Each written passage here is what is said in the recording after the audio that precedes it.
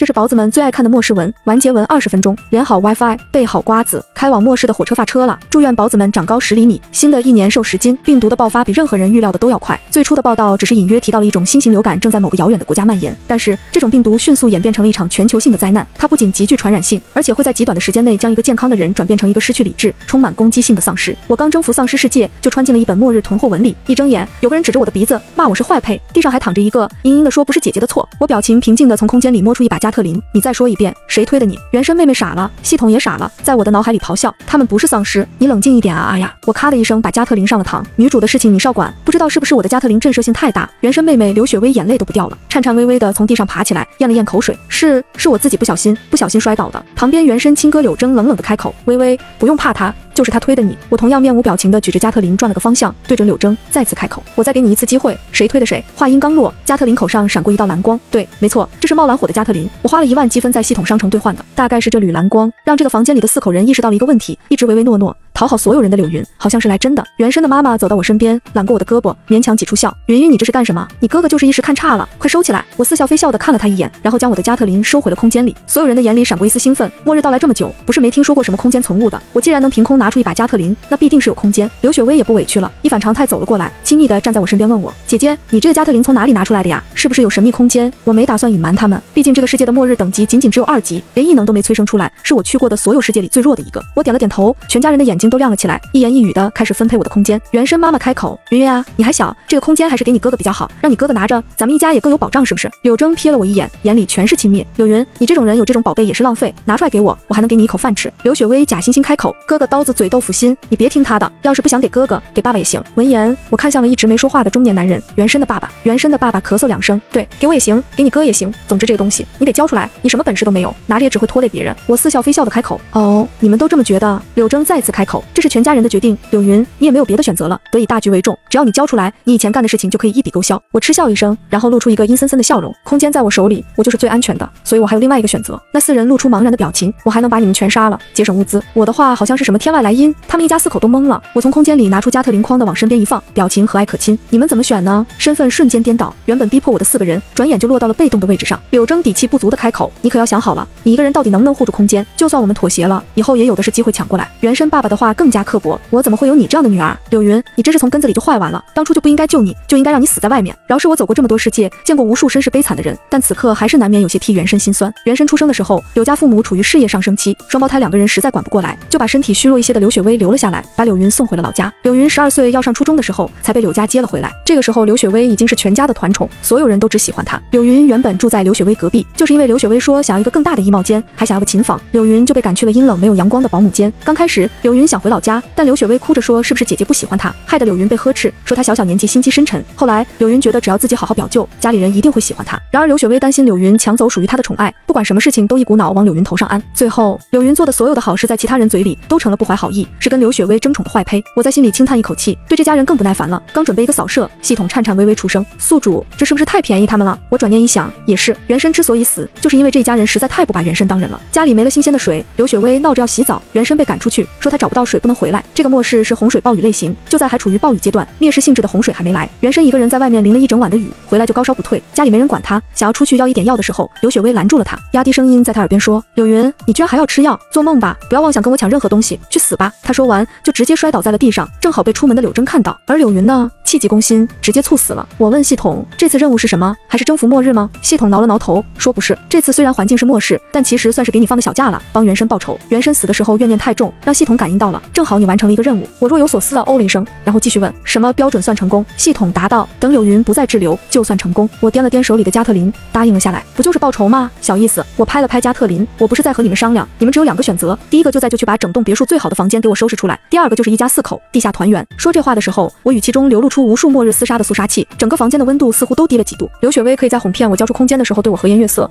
但绝不可能在我威胁到她利益的时候还好好和我说话。她忍无可忍，冲上来就要扇我。你敢？柳云，你个贱人，我告诉你。你，别以为你拿个加特林就真能当皇帝了。贱人永远都是贱人，我警告你，再蹬鼻子上脸，看看这个家还有没有你待的地方。我冷笑一声，动作快的几乎看不清，掐着刘雪薇的脖子，将她顶到了墙上，声音冷得掉渣。谁告诉你我是柳云？这话一出，所有人都愣住了，这才意识到问题的严重性。如果我真的是柳云，他们有把握继续拿捏我，可我不是。我居高临下的看着不断挣扎的刘雪薇，柳云已经死了，高烧不退，三天后猝死的。你们连一颗退烧药都不愿意给他，就在后悔了吗？他们当然后悔，只不过后悔不是因为柳云死了，而是因为柳云死了带来了我这个煞神。这个屋子里能看出真真切切为了柳云难过的，只有柳云的妈妈。她嘴唇抖了抖，难以置信的抓着我。云云，你是在跟妈妈开玩笑的，对不对？妈妈不知道你发烧啊，你怎么不跟妈妈说？我面无表情将她的手拉开，嘲讽道：迟来深情比草贱，迟来的母爱也一样。你们信不信我说的话不要紧，你们只需要马上按照我说的做，还有机会活到末日结束。柳峥第一个反应过来，他说出的话充满了利益算计。就算你不是柳云，你也占据了柳云的身体，理所应当为了他的家人付出，提这种要求不合适吧？我嗤笑一声，然后手里一道银光飞过，一柄小刀直接插入了柳峥的大腿，刀尖甚至从另一侧贯穿了过去。柳峥当即发出一声惨叫，柳父要说什么，被我一眼看过去，当场闭了嘴。我慢条斯理地看向柳峥，和蔼地问他：“你还有什么诉求吗？”柳峥已经疼得神志模糊不清，哪里还能说得出来话？我抬起头看向其他三个人，你们呢？有什么诉求吗？刘雪薇已经吓傻了，哆哆嗦嗦地站在旁边摇头，只有刘母颤抖着开口：“云云，你你是恨我的对吗？”我礼貌开口：“柳夫人，我不恨你，但柳云恨不恨你，我就不知道了。”说完，我走到柳峥面前，捏起他的下巴：“有诉求吗？”柳峥强忍着剧痛，咬牙切齿地摇了摇头：“我很满意，看来大家都很识时务。”柳峥这样的伤，如果我不出手，在资源匮乏的末世，必定失血过多而亡。然而就在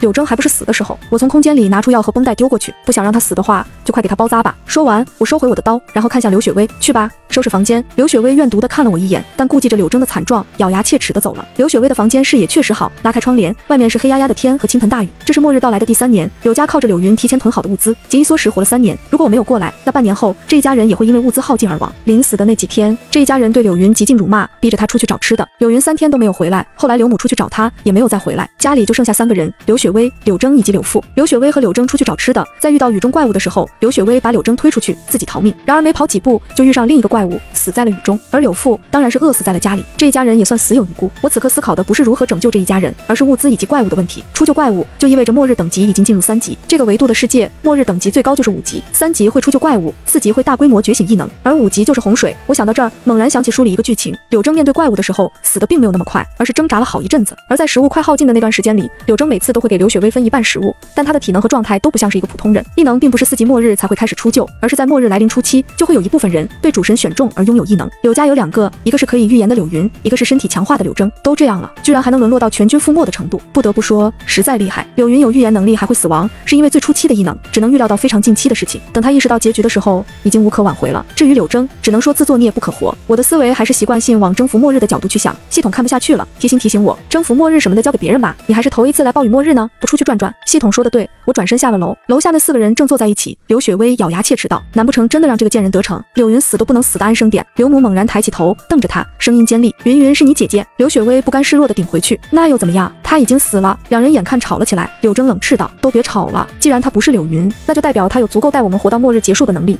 从今天开始，谁也不许惹她，除非你能保证得到她身上的宝物，并且取而代之。”我故意在楼梯上踩出声音，双手抱臂，居高临下的看着他们。柳峥倒是一点没有被抓包的尴尴尬，而是平静地看着我。我说的有什么问题吗？我慢慢悠悠地走到门前，拉开门，没有。提前祝你成功哦。我在外面溜了一圈，看到几个开着改装越野车出来找物资的人。末日三年，外面的物资其实已经非常少了。我绕开这些人，找到了郊区一家有自建大棚的人家。或许是因为这家人住的确实偏僻，而且一家人只在门口的大棚种菜，外面的地全部荒芜，自己住在地下室，一定程度上也能掩人耳目。我拿一些药物跟这家人换了三箱白菜、土豆、红薯这种容易保存的蔬菜，还有几个人家自己种的西红柿、小草莓、薄荷。回去的时候，里面的四个人都愣住了，他们实在没想到我确实会拿物资回来。最先反应过来的是柳峥，他的目光牢牢锁在那一箱一箱看起来尚且新鲜的蔬菜上，深吸一口气，走了过来，冲我伸出了手。你是谁对我来说不重要，但你的条件我答应了。我越过他的手，看向他身后的三人，缓缓开口：这些蔬菜每天都有定量，如果有谁被我发就偷吃，马上自己滚出去，并找到双倍的量带回来。至于谁做饭，你们四个轮值，一人一天，谁旷工谁就没饭吃。柳峥对此没有异议，柳父和刘雪薇也是敢怒不敢言。我的目光缓缓地从这个四人面前扫过，只有柳峥还算正常，柳母一直是一种非常低落的状态，而柳父和刘雪薇他们的算盘都快写在脸上了，对他们心里那点小九九，我全当做不知道。指了指后面的箱子，六个西红柿，一小把草莓，一把薄荷都是我的，谁都不准碰。刘雪薇从刚才开始，目光就一直锁在这三样东西上面。她吞了吞口水，脸色变换几次，然后堆起一个讨好的笑走过来。姐姐，出去一趟累了吧？我给你按按。我似笑非笑的看着她，直到刘雪薇的伪装要绷不住的时候，才欣然开口。好啊，一会分你一口，一口多吝啬的字眼。可刘雪薇已经两年多没有吃过任何新鲜的东西了，她几乎是想都没想，疯狂点头。最后，刘雪薇得到了一个拇指指甲盖那么大的小草莓，还看到了我当着她的面从空间里拿拿出了一张面膜。她吃完后，眼里迸发出难以掩盖的贪婪，强忍着问我：“姐姐，你的空间里都有什么呀？”我还是头一次亲眼看见有空间的人，能不能给我说说？刘雪薇虽然贪婪，但她知道自己的力量非常有限，一定会去找柳真合作。我嗯了一声，简单说了几样：武器、药物、营养液，勉强算要什么有什么吧。当然是要什么有什么。空间直连系统商城，我就是就在想吃一顿满汉全席都买得到。刘雪薇眼睛瞬间瞪大，连瞳孔都收缩了起来，眼底的贪婪愈发明显，恨不得当场就抢过来。我觉得好笑，我这个空间跟他们的异能或者金手指可不一样，这是我第一次升级的时候系统给我的奖励，就算他抢过过去也用不了。刘雪薇随便找了个借口就匆匆离开了。我喊了声系统，我要听他们说话。很快，眼前就出就了一块只有我自己能看到的屏幕，上面显示刘雪薇飞速去找了柳峥，只有他们两个人。刘雪薇把门关好后，压低声音，语气兴奋：“哥哥，我打听到这个空间的作用了。”柳峥挑了挑眉，示意刘雪薇继续说。刘雪薇把我从空间里拿到面膜的事和我说的那些话又给柳峥说了一遍，然后兴奋不已：“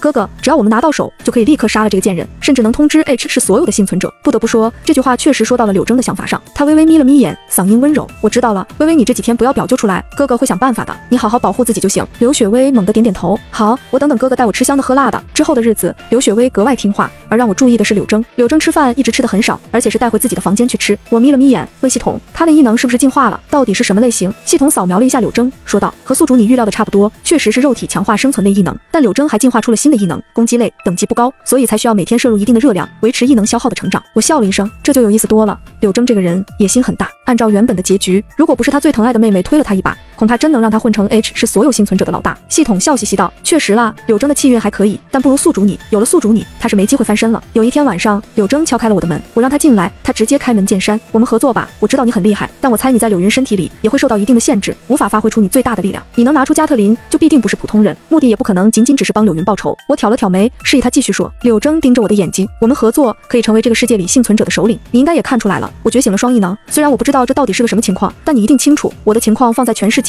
也是出类拔萃的。”柳峥确实很聪明，可惜心是歪的。我往椅背上一靠，你为什么觉得我会和一条毒蛇合作？柳峥，你的异能确实厉害，双异能也确实罕见，但不是唯一。我完全可以杀了你们所有人，替柳云报仇，然后找到我更满意的合作者。柳峥沉默了一下，开出了新的筹码。或许你有更想要的东西，我可以不惜一切代价帮你得到。如果你想给我设置一些限制，我可以答应。这确实是一条毒蛇，对别人狠，对自己也狠。我看了他一会儿，突然开口：“你知道你的既定结局吗？”柳峥一愣，我拍了拍他的肩膀：“你的既定结局就是被刘雪薇推出去挡刀，死于非命。”说完这句话，我就把他请了出去，然后让系统给我打开了监视。柳铮在楼道里站了很久，像是在验证我说的话的真假。过了一会，他敲开了刘雪薇的门，画面切到柳铮和刘雪薇说话的场景。柳铮蹲在刘雪薇面前，微微抬着头，语气温柔：“微微，哥哥需要你先离开，哥哥会给你准备足够的口粮和一辆大 G，你去找南城的林家。我记得林家的小子不是一直喜欢你吗？”刘雪薇愣了一下，马上尖叫了起来：“哥哥，你要干什么？是不是那个贱人和你说了什么？你是不是要放弃我？”柳铮握了握他的手，安抚道：“当然不是，哥哥最喜欢你了。微微是哥哥最重要的人，微微自己难道不清楚吗？”刘雪薇还要说什么，被柳铮打断：“哥哥需要一些手段才能得到空间，你只需要去林家待几天，几天就够了。而且林家是做食品生意的，罐头、速食，